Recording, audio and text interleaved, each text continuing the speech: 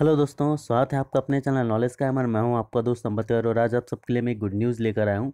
आज के इस वीडियो में जैसा कि आप सबको मैं बता दूँ पहले ही कि D F C C I L के बारे में हम वीडियोस बना रहे थे। तो D F C C I L के बहुत सारे हेड्स पर एग्ज़ाम हुए थे अलग अलग पोस्ट के लिए।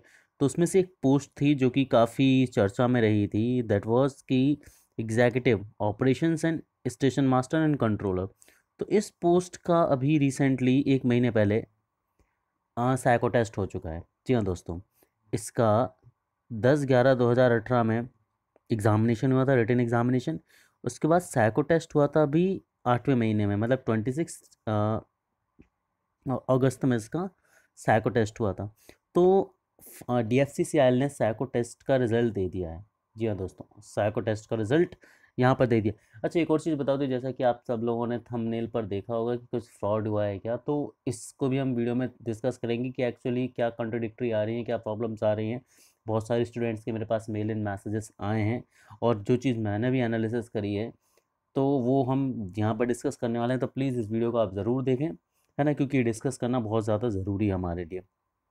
तो यहाँ पर ये साइको टेस्ट का रिज़ल्ट आ चुका है। तो first of all I want to congratulate all दो student those have clear this particular examination ठीक है गाइज़ है ना? अब हम बात आगे करते हैं दोस्तों। देखिए गाइज़ यहाँ पर क्या सीन है कि एक जो लिस्ट यहाँ पर डी एफ़ ने दी है, ये वो लिस्ट है जिसमें कैंडिडेट्स अपियर हुए थे साइको टेस्ट में after qualifying there return examination और उस साइको टेस्ट को जितने लोगों ने क्लियर किया हुआ है, उनकी एक लिस्ट दी हुई है। अब फर्दर उनके डॉक्यूमेंट वेरिफिकेशन और मेडिकल एग्जामिनेशन को उनको बुलाया जाने वाला है।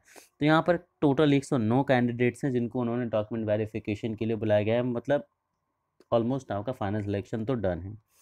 ठीक है। अब यहाँ पर हम बात करें कुछ चीज़ों की। तो यहाँ पर एक एड्रेस दिया हुआ है हर रिज़ल्ट की तरह जहाँ पर आपका डॉक्यूमेंट वेरिफिकेशन होने वाला है, जहाँ पर आपका फ़िज़िकल टेस्ट होने वाला है सॉरी मेडिकल टेस्ट होने वाला है। तो यहाँ पर हम बात करें तीन स्लॉट्स हैं। जी हाँ दोस्तों, तीन स्लॉट्स हैं क्या one two thirty six, thirty seven two seventy two and seventy three two one zero nine. और यहाँ पर तीन अलग अलग डेट्स दी हुई हैं। जैसे डॉक्यूमेंट वेरिफिकेशन चौदह तारीख को है, पंद्रह तारीख को है, सोलह तारीख को है।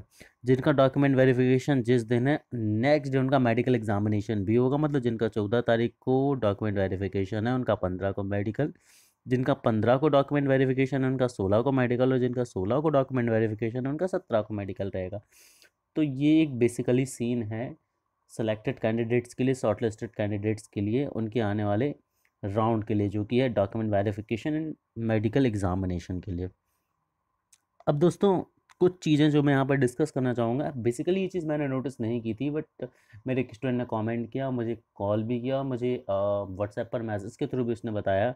कि यहाँ पर बहुत सारे ऐसे नाम हैं जो कि साइको टेस्ट की क्वालिफाइंग लिस्ट में नहीं थे है ना? और जब इस चीज़ को मैंने भी एनालिसिस किया तो मुझे भी ऐसा कुछ नाम दिखे जो कि मैं आ, शायद पर्सनली नहीं लेना चाहूँगा यहाँ पर। आप लोग खुद चाहें तो इस लिस्ट को ले सकते हैं और साइको टेस्ट की जो मतलब मेन एग्जामिनेशन की जो लिस्ट है तो उस लिस्ट को ले सकते हैं और मैच कर सकते हैं। तो मुझे ये चीज़ उस स्टूडेंट की कहीं ना कहीं सही लगी कि कुछ नाम यहाँ पर ऐसे हैं जिसमें कैंडिडेट्स वहाँ नहीं थे बट उन कैंडिडेट्स के नाम यहाँ पर हैं तो क्या रीज़न था इसके पीछे?